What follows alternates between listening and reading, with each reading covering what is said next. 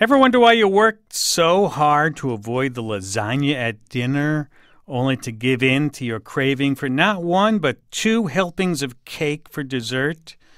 Well, new research may hold some answers to this vexing question. A new study in the Journal of Consumer Psychology confirms what we've been know- what we've known for some time, and that is each of us has an internal reservoir of self-control.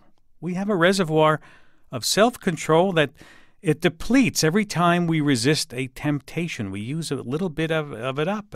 But for the first time, researchers have taken pictures of the brain to show what was happening when a person exerts and then loses self control. Dr. William Hedgcock was a co author of the study. He is a neuroscientist and assistant professor of marketing at the University of Iowa.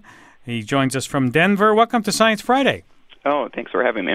Now, first, let me back up a bit because I think it would, it would be surprising to most people to learn that we actually have a reservoir of self control. Uh, sure. So, this is um, a theory called regulatory resource depletion. Uh, and li- like you said, when people exert self control, what we see is people have a hard time exerting self control later. Uh, so, this I- idea of one resource may be um, you know, not intuitive. Uh, but I think most of us have had this sort of experience where you exert self control at one point and then end up succumbing to temptation later. Mm-hmm. And where is that center of self control? Well, what we're finding is uh, that the center seems to be the dorsolateral prefrontal cortex.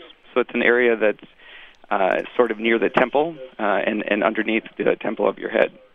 Hmm. And, and how do we know that that's where it is? Well, so we ran an fMRI study where we had subjects come into the scanner uh, they first exerted self control, and we saw them uh, having activation in areas like the dorsolateral prefrontal cortex and the anterior cingulate cortex. And this is what you know we would have expected. Then we had them exert self control later on a subsequent task, and we saw less activity in this dorsolateral prefrontal cortex area.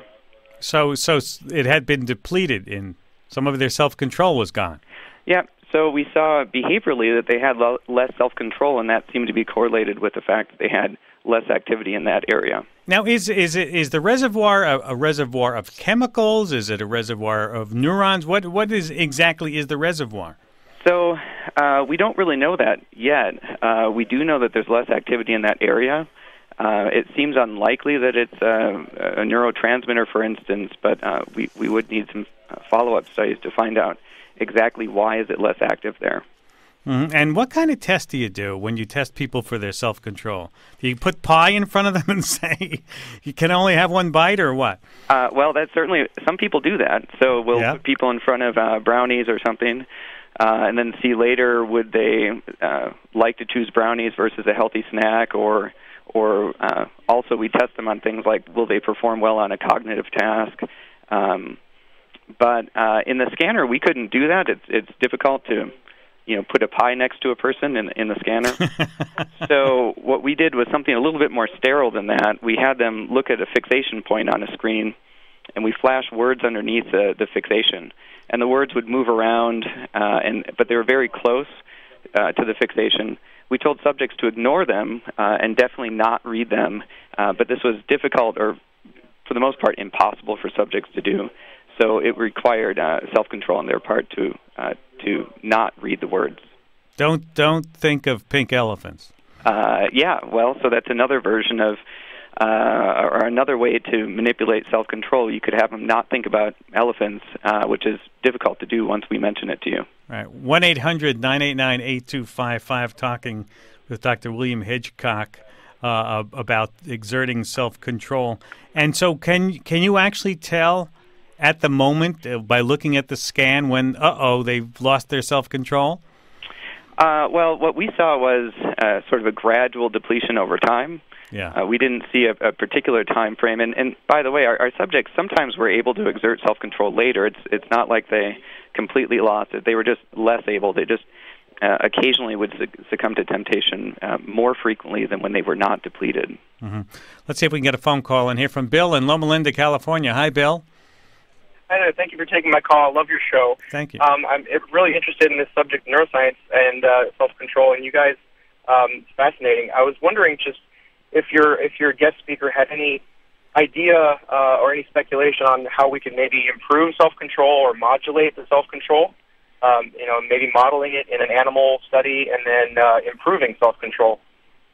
Yeah, because uh, you're gonna you're gonna bet I'm I'm sure and let me ask Dr. Hitchcock about this that the pharmaceutical companies would be very interested in a, in a pill, right? To, uh, well, I think the pharmaceutical you know companies and and also you know just people or policymakers in general. Um, you know, we just ran a quick behavioral experiment to see what would happen, and, and it, it seems pretty simple. But what we had people do was think about ways they would actually uh, execute control. So uh, we went to a gymnasium uh, we had people coming out who had this sort of fitness goal or, or eating healthy goal, and we would just have them think about ways uh, that they would execute that. So come to the gym three times a week, or you know, eat healthy and not versus unhealthy foods, and that would slightly improve it. We don't think that we don't think that it replenished the resource, so to speak, but it was sort of a crutch. It would just make it easier to exert control. Um, but as you mentioned, this idea of pharmacological uh, interventions. Uh, it's you know it's too too early to tell exactly what would be useful, but this, these brain images provide us at least with some direction on, on where we should look. Mm-hmm. Uh, do you do you know how it's replenished? Did you image participants' brains after a period of time to find out? So no, we didn't do that. It, it would seem to take a while. Uh, right now, all we know that will help you is to take a break. So just do something that doesn't require self control. You know, if you take a nap, uh, or if you're somewhere where it's easy to exert self control so that you don't sort of tire it out, uh, it mm. seems that people are able to replenish it that way. I guess it's sort of like the the what people tell you if you know take yourself out of that situation that's giving you a loss of self control. Yeah, that's correct. And and not only will it help you right there at that situation, but it might help you later when you're trying to exert self-control uh, in a in a later time where it's mm-hmm. harder to avoid temptation. So so have you found that you can practice self-control? So uh, I have not personally run that study, but we do know uh, other researchers have looked at that and found that if you practice self-control. Uh, it, you're able actually to strengthen this or, or improve your resource so that you'll have uh, um, a better ability to not wear out over time. It's like the muscle theory, right? If you use a muscle over and over again, you strengthen it. Yeah, at least in these two ways, this sort of uh, muscle analogy seems to uh, seems to fit with uh, how your regulatory uh, resources mm-hmm. work. Let's go to Austin in Sandpoint, Alaska. Hi, Austin. Hey, hey thanks there. for taking my call. You're welcome. Go ahead. Hey, I had I um I study theology as a pastor, and I was curious. Did you notice anything like um, correlations between people with religious convictions and increased self-control or decreased self-control or anything like that? Uh, you know, I'm I'm sorry to say we did not end up looking at that. That's an interesting question. Um, things like um, you know religiosity or uh, personality traits or gender. Uh, honestly, the things that we've looked at uh, when we have looked at those, uh, they don't tend to be a very big predictor. Uh, but but I haven't specifically looked at religion. All right. Thanks for calling, Austin. Uh, can you, if you look at an image of a brain, if a brain scan of somebody, can you tell from looking at the scan how much self control they have, or have how much reservoir they have left? Uh, no, so we can't do that. I'm sure people would be interested. Um, you know, just because an area of the brain is bigger, it doesn't necessarily mean that it would be, you know, more, uh, you know, stronger. Let's say so. Uh, a large DLPFC or, or small, it, it, it doesn't tell us if people are better able at, at exerting self-control. I suppose the only maybe uh, exception to that would be if someone has uh, brain damage to an area. So, so particularly taking out that area, uh, then you might uh, be able to predict that they'd be very bad at self-control. We have a tweet from uh, Kay McKenzie who says I wonder if this could help alcoholics and the like to resist temptation. Uh, so things like alcoholism are a little bit different, um, but but certainly with the idea of of uh, when they are trying to uh, resist temptation, th- this could help them out. This is Science Friday from NPR. I'm Ira Flatow talking with Dr. William Hitchcock, author, co-author of a study about uh, self-control. Uh, let's see if we can uh, get to another phone call or two. But, but before I get to that, in the second part of your study, you looked at ways to intervene and make people aware of the consequences of the choices that they were making? Were they less likely to lose self control with this kind of intervention if they knew the consequences? Uh, so, if we had them think about consequences, uh, it did not seem to help them too much. Uh, on the other hand, if we had them think about ways that they would actually execute control, uh, it did help them. And, and in particular, we had them uh, choosing from tempting versus you know healthy snacks, and we saw that their snack behavior would change if they thought about uh, ways that they could uh, make better decisions. Mm-hmm. Did you try to distract them at all and see if that would bring self control a little bit back? Uh, no, so we did we did not look at uh, distracting them later. Uh, often we would use a distraction sort of thing to uh, to diminish their ability to exert self control. Mm-hmm. Go to the phones to Jamie in Cleveland. Hi, Jamie. Hi, thank Hi you there. for taking my call. You're welcome. Uh, I remember hearing an article on NPR once uh, that about a study doing done with dieters, and they had people think about very specifically eating M and M's and the crunching and the taste and the swallowing and then afterwards, the control group that was not told to think about eating M&Ms had way fewer, ate way more M&Ms than the people who thought about it. And I was just wondering uh, what you think uh, the self-control and if we can trick our brain into having more self-control by thinking by making it think we've already given in. Good sure. Question. Actually, I believe um, if if I'm thinking of the same study you're talking about, I, I believe what they're doing is satiating people. So basically, if you're imagining uh, eating you know M&M after M&M, eventually, even though you're just thinking about it, uh, it can make you start to think that you're getting tired of eating them. Uh, so this sort of um, uh, you know perceptual satiation is happening.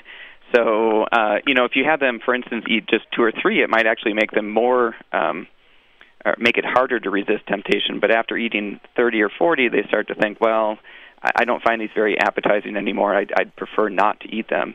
Uh, so it's definitely possible, uh, just sort of mentally, to to convince yourself to eat more or less uh, that way. Mm-hmm. Let me see if I get one more question from Molly in Washington D.C. Hi, Molly. Hi, guys. Thanks for taking my call. Mm-hmm. So I read a book last year called Willpower, exactly on this topic, and its central premise was that you can improve that that depleted resource of willpower, self-control, as we're calling it in this study here, through glucose. And I was wondering if the author could talk about that. They they proved, in my mind, pretty positively that uh, a regular intake of glucose, not necessarily super sugary sub, uh, substance, um, but that that base. Um, I guess willpower generator could really improve your your discipline. All right, let's get an answer. Thanks for the question. Sure. So I believe that that book and the study uh, uh, was someone named Roy Baumeister. excuse me, Roy Baumeister did that research, uh, and they have found that if you have people drink a sugary substance, it can end up increasing uh, people's self-control. Um, our study does not directly address that. Uh, I guess our results are consistent with that in that we see less activation in the brain, uh, and and that could hypothetically be from uh, la- lack of glucose uh, but at this point, all we can say is that there's just less activity in that part, uh, and we, we don't know why. As, a, as a, an assistant professor of marketing, do you think that marketing people would love to, to convince you how to lose self control and go out and buy their product? Yeah, so I, uh, it's certainly possible. That's that's one way that marketers could use this information. Actually, there's there's just as many marketers who would like to improve your self control. Uh, so you could think about you know fitness clubs or mm. or diet companies uh, or you know particularly uh, uh, finance companies or retirement savings. Uh, you know they can only make money if if you actually do exert self control and and uh, we hope they'd find it useful to figure out how to improve that. Dr. Hedgcock, thank you very much for taking time to be with us. Well, thanks for having me. Have a good weekend. William Hedgcock, neuroscientist and assistant professor of marketing at the University of Iowa, also co author of a study in the Journal of Consumer Psychology.